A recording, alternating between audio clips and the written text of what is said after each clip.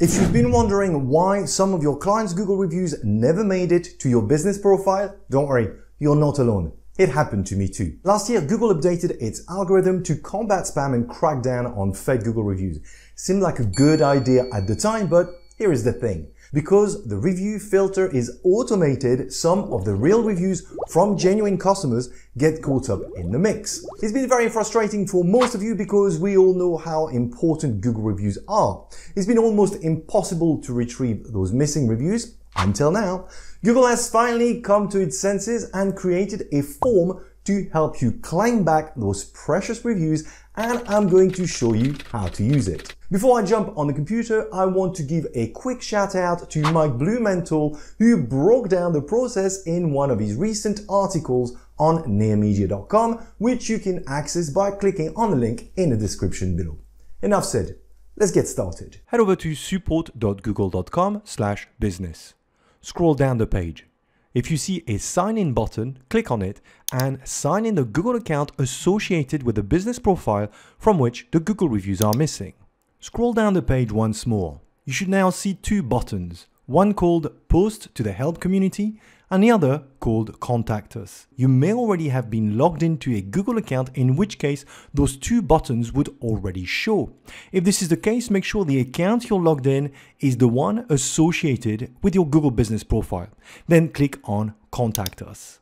Click on the first drop-down menu. Your business should be listed there. Just select it. In the Tell us what we can help with field, type Missing Reviews. Then click on Next. From the description of the issue list, select the Review Missing option, then click on Next Step. This should take you to a page with suggested article you can read to help you understand why your reviews are missing or delayed. Just ignore them and click on Next Step once more. This next step will show you the contact option available related to your query, which in this case will be email. Just click on it you should see a warning message asking you to double check that the account you're signed in is the one associated with the listing you are reporting an issue for. Make sure it is. If not, you can switch to the correct one. Fill in the form starting with your name, then add your phone number. From the next drop down, select what your relationship is to the business. I guess most of you will choose I own this business. In the next field, add your business name as it appears on your listing on Google Search and Google Maps and on the next one, the address where the business is located. You'll then be asked to provide your business profile ID. Although this is not a compulsory field, I recommend you add it to the form. This will ensure that Google is looking at the right listing. If you don't know where to get your business profile ID, follow these steps head over to Google and make sure you're logged in with the account associated with your listing. In the Google search box, type My Business. Your business profile should appear in search results. Click on the View Profile button.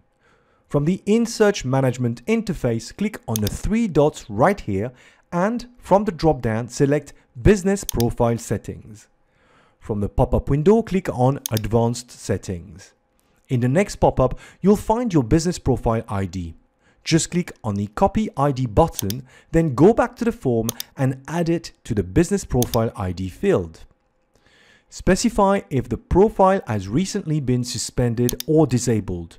Just so you know, if your listing got disabled and then reinstated, you'll need to act fast. You've only got a few weeks to ask for your reviews back, or they'll be gone for good. If your profile doesn't belong to a primary or secondary school, answer no to the next question. If it does and you live either in the US or the UK, you're not eligible to generate reviews, so there is no need for you to continue with this process. From the next drop down, give an estimate about the number of reviews that are missing.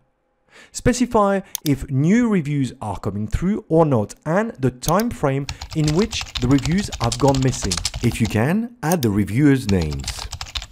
Finally, provide a quick description of the issue you are facing.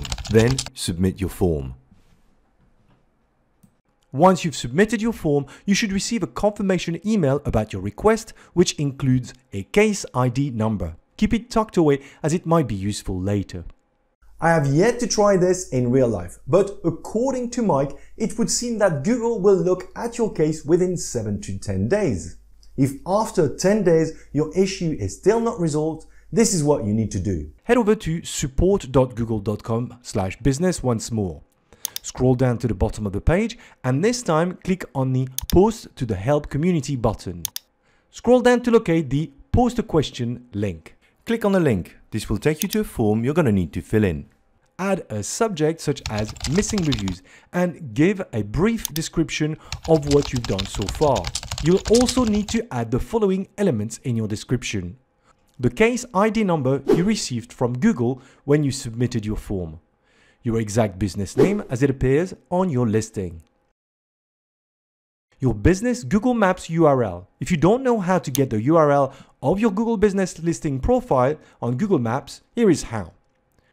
Head over to google.com/maps. Type in the name and address of your business. This should display your Google Business profile panel. Your Google Maps URL is right here. Just click on it once to select it all. Copy and paste it in the description. You will also need to include a screenshot of the reviews that have not been published or removed so the reviewers' usernames can be verified. This is because in most cases your clients' names and their Google username will be different. There are two ways you can do this. In some cases, you might have received an email notification from Google informing you that someone has left a review on your profile, only for the review to be filtered out later. In such cases, capture a screenshot of the email and include it in your request. If you haven't received any email notification from Google, but you are certain that customers have left reviews on your profile, you will need to request your clients to send you screenshots of the reviews they posted. To do this, ask your clients to do the following. Go to the Google Maps app on their phone. From the navigation menu at the bottom of the screen, they'll see a plus icon called Contribute, which they'll need to click on. This will bring up their account overview. From there, they'll need to tap on the View Profile link. When scrolling down, they'll be able to see all the reviews they have submitted from their account and locate the one they posted on your listing. It will only be visible to them. Ask them to screenshot it, making sure their username is included in it and to send you a copy. Attach the screenshots to your description. Once you've completed your description, select Engage with Customers from the category drop-down, then click on Next. Choose the Review Missing option, then click on Next Step. Ignore the various references to resources, then click on Next Step. In the Add More Details, select the platform, just go for Web. Then click on Next Step. Make sure the Get Emails when someone responds box is ticked, then click on Post. Once you've submitted your request, hopefully one of the Google product experts will be able to escalate your case and get it resolved once and for all as quickly as possible. Be kind to them, they don't work for Google and are only volunteers. I know this is not ideal and seems like a very long-winded process, but it's definitely a step in the right direction if you want to retrieve the reviews you worked hard to get. Please let me know in the comments below how many reviews you've managed to retrieve following this process as it will be helpful for everyone to know. Thanks for watching. I hope you enjoyed this video. Until next time, happy marketing.